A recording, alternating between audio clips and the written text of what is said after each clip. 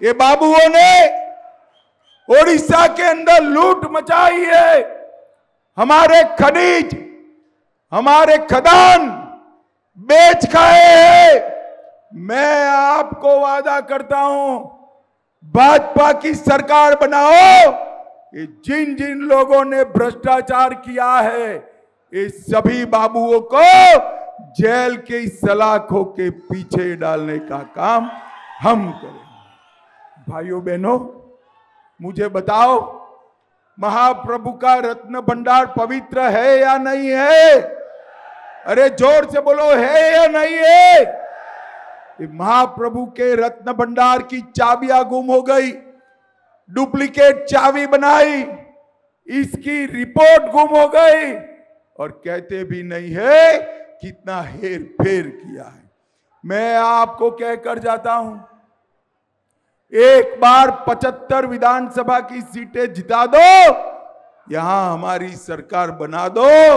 महाप्रभु के रत्न भंडार की पाई पाई ढूंढकर उनको घूम करने वालों को हम सजा देने का काम करेंगे।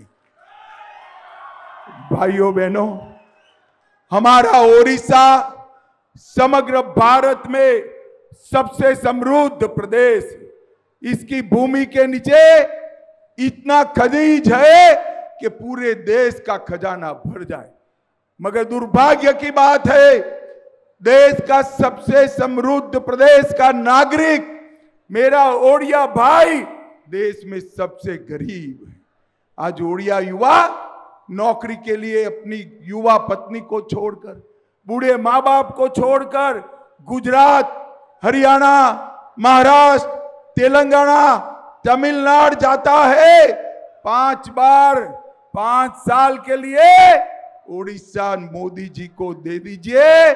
हम ओडिशा में आप सबको नौकरी और रोजगारी मिले ऐसी व्यवस्था भारतीय जनता पार्टी की सरकार करेगी। मुझे बताओ, ओडिशा वालों, हर घर को, हर गरीब को पाँच लाख तक का सारा इलाज फ्री ऑफ़ कॉस्ट मिलता है। आयुष्मान भारत योजना का। हमारे ओडिया वासियों को भी मिलना चाहिए या नहीं मिलना चाहिए?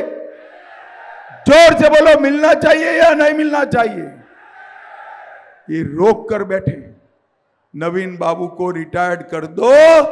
आयुष्मान भारत योजना हम सौ दिन में लागू कर देंगे, सौ दिन। भाइयों, बहनों, भारतीय जनता पार्टी की सरकार गरीब कल्याण करने वाली सरकार है। आदिवासी, दलित, पिछड़ा समाज, माताएँ, बहनें, युवाएँ, किसान, उसका कल्याण करने वाली सरकार है।